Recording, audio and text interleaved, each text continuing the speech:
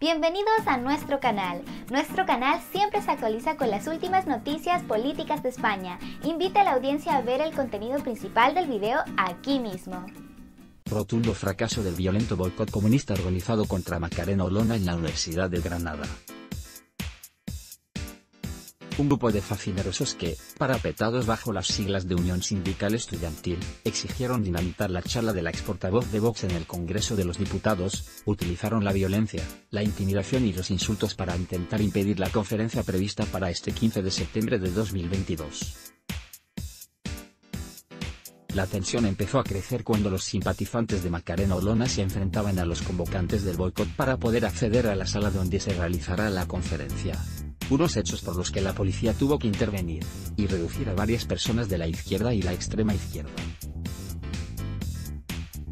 Cuando todo hacía pensar que el acto se iba a suspender, Macarena Oloña demostró que no tiene miedo a los radicales de izquierda, y llegó a la Universidad de Granada escoltada por decenas de policías. Sin embargo, el momento más tenso se ha vivido cuando Olona ha rechazado entrar por la puerta de atrás del salón de actos, a mitad de su camino se ha negado a seguir el camino, y ha dado la vuelta para acceder por la puerta principal. Los antidisturbios de la Policía Nacional quería evitar mover a los manifestantes de los sindicatos de estudiantes que bloqueaban la entrada.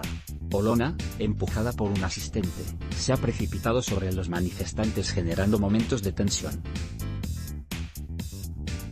Este sindicato estudiantil, en sus redes sociales, adujo barrabasadas de esta índole para reclamar el boicot. Hace pocos días se nos dio a conocer que la ex militante del partido político Vox, Macarena Olona, va a acudir el próximo jueves 15 de septiembre a la Facultad de Derecho de la UR para impartir una charla. La UR no ha tenido reparo alguno en permitir que discursos fascistas tengan cabida en nuestras aulas mientras deniega el derecho de reunión al propio movimiento estudiantil. No lo vamos a permitir. Por ello, llamamos a una convocatoria lo más unitaria posible que reúna a toda la comunidad educativa, docentes, estudiantes, PAS, y hacemos un llamamiento especial a toda la izquierda social,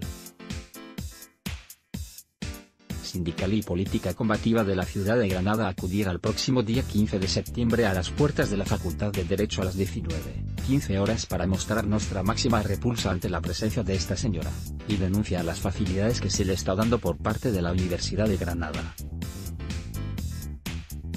Por supuesto, la expolítica de Vox no tardó en reaccionar, y dijo claramente que a ella no la van a amedrentar, y que ella estará el jueves 15 de septiembre de 2022 en la Universidad de Granada dando la conferencia que estaba programada desde hace varias fechas. Soy madre de un niño de dos años. Pienso en él cuando sufro amenazas personales. ¿Y por qué pienso en él, y en la España en la que quiero que crezca? No dejaré que el totalitarismo venza. No pienso suspender la conferencia. Libertad. Ley.